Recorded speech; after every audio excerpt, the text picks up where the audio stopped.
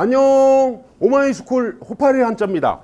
자 이번 시간에는 우리가 소리가 비슷해서 헷갈려하는 한자어 중에 보시면 막역과 막역한 사이 친구들끼리 서로 오백을 기울이고 있네요.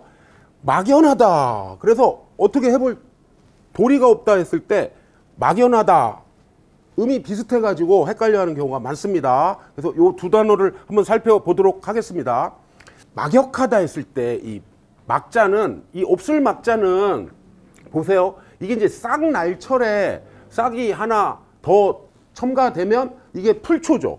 풀이 하나 더 있으면 풀만을 회에 풀이 하나 두 개 합쳐져서 이 글자가 자풀 우어질 망자입니다.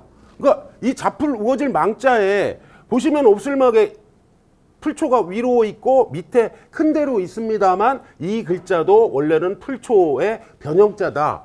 그러니까 풀 속에 해가 들어가 있는 건데 어떻게 풀 속에 해가 들어가 있을 수 있겠어요?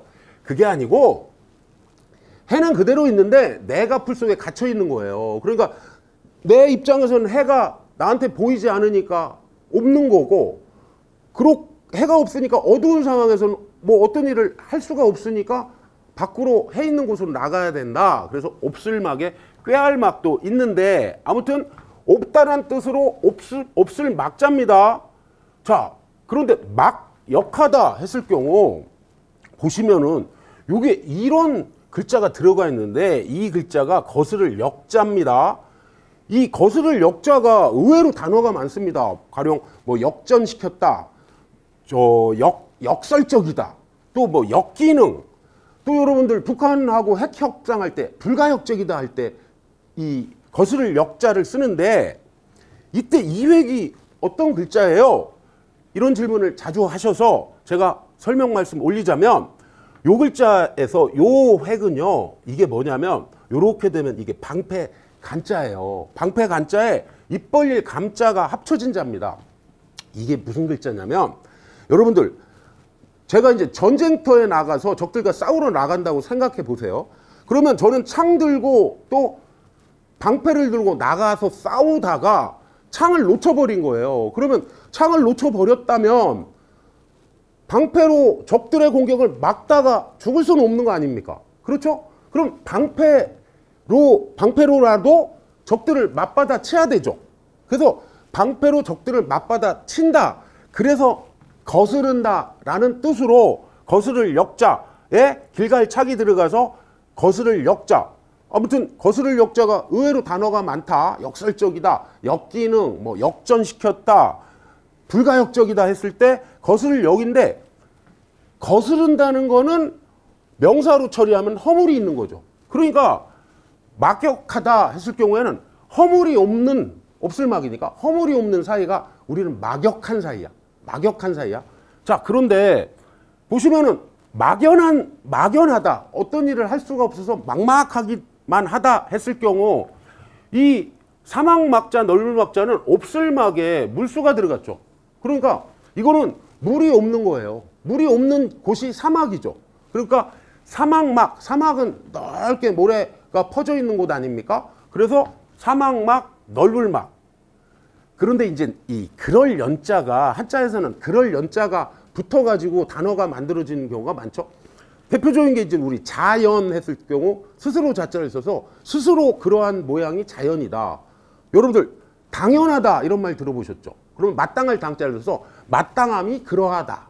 그래서 당연하다. 확연하다 이럴 때도 이 그럴 연자를 씁니다. 확실하게 그렇다. 그런데 이게 왜 그럴 연이 됐냐면 여기 보시면 이렇게 된 자가 6달월 이거는 6달월입니다. 개견이 합쳐져서 이게 말 그대로 개고기 연자입니다.